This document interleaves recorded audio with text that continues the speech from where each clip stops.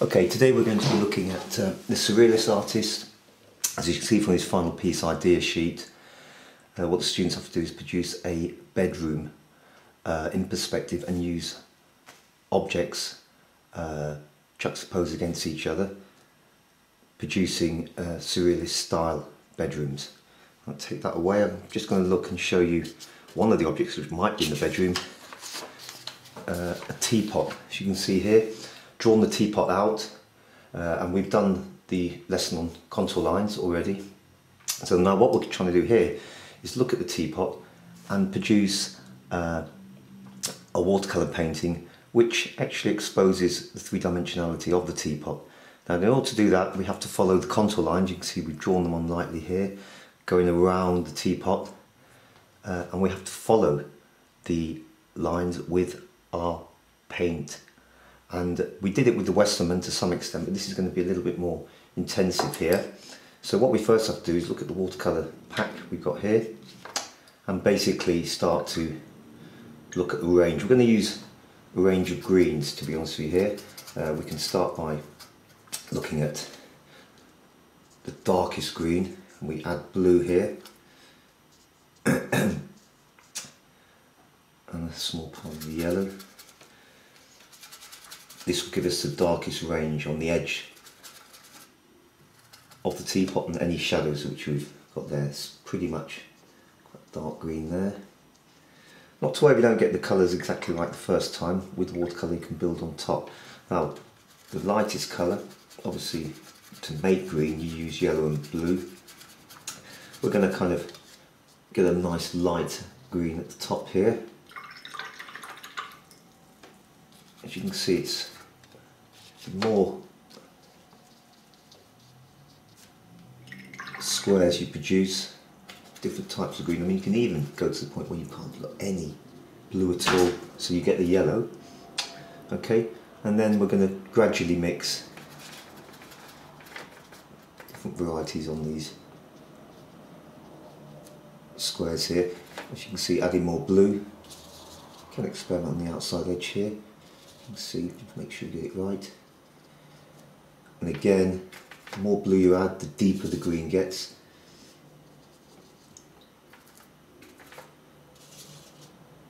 You can go back to these just to check so you can see there. To the point where your final green the darkest green is almost like a blue there.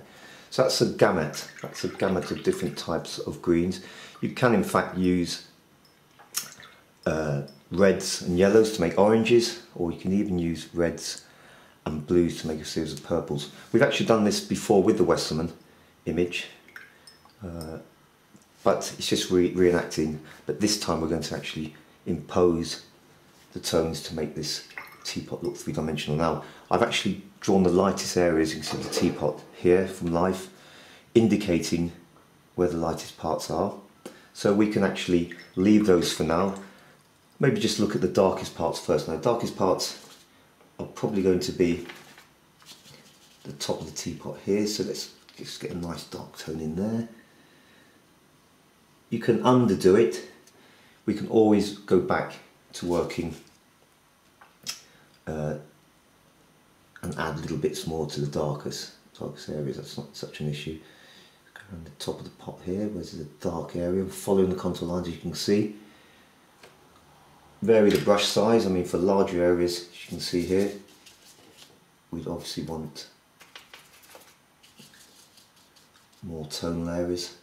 And here you can see, I'm making a colour double check, this one being pretty much a mid-tone. We can use that on the edge here, following the contour lines again as you can see not going over the areas which are light, we're leaving them till later on. And gradually you can start to build different layers following the contour lines. Now if you do make a mistake you can always use the brush to wipe out areas. So for instance if I make a mistake here, for instance like that, I don't like the colour, what I can do is put the brush in water take away the water a little bit there. Dry the brush out, you can see. And just take away the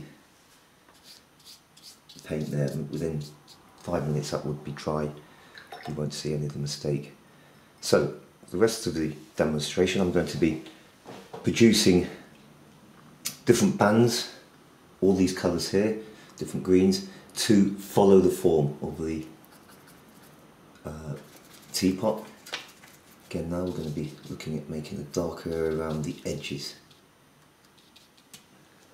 There we go. Also going to put a shadow onto the teapot as well. Don't worry, uh, you but sorry, be very careful that you make sure that you don't let the paint bleed because what will happen then, it'll bleed uh, and flow into the other parts of the painting that you don't want. So around the edge here, I've got one of the darker areas.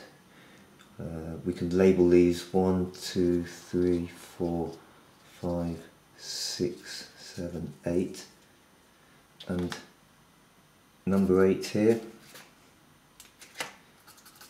it's going to be right around the edge, you can see there following the contour lines.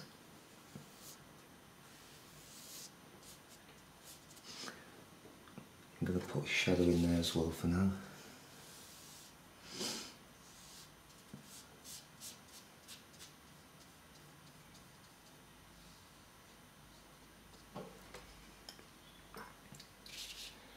As you can see we gradually start to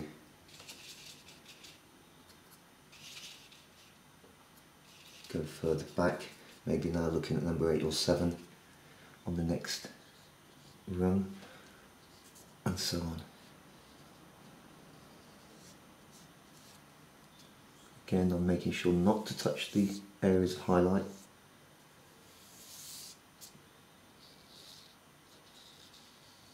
they will be left there.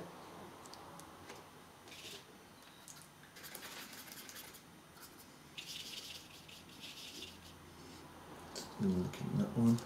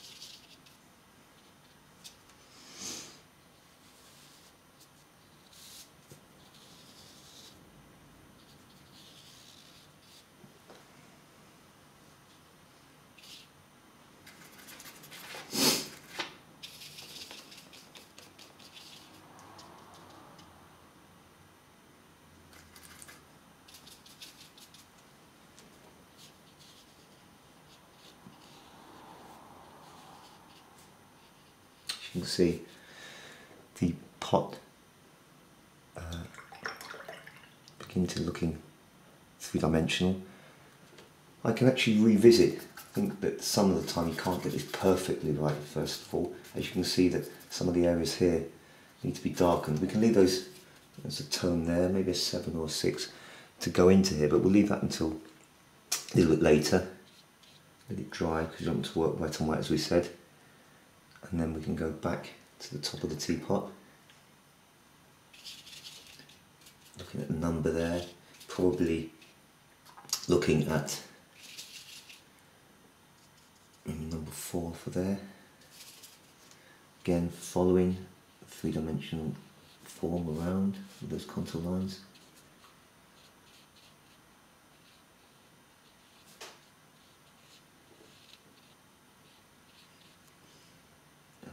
same form.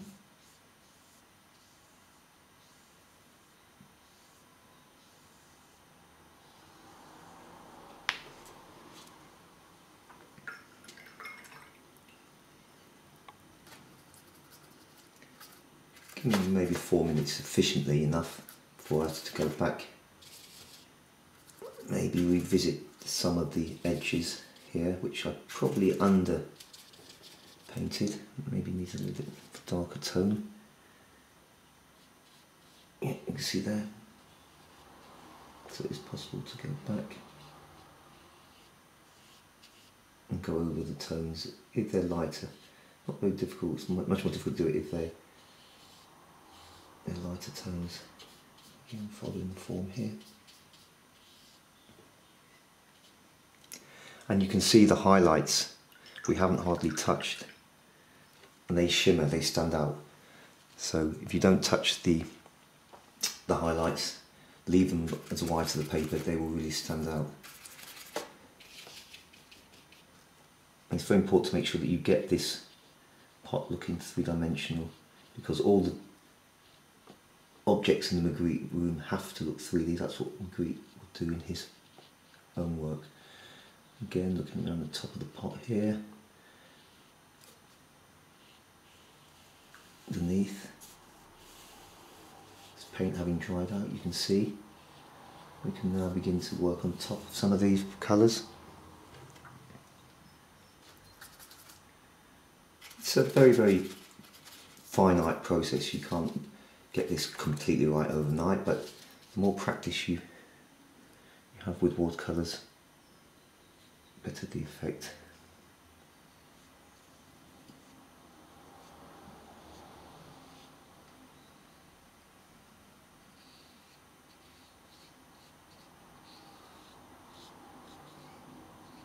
Again, going back to the top of the pot, as we said before, we can always make watercolour a little bit darker. We found the range there, see.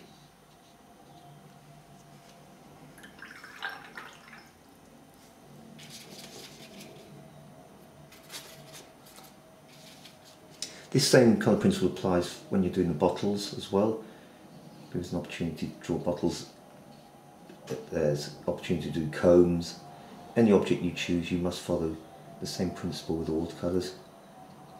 Looking at the contour lines, following the lines with the paint to get the desired effect.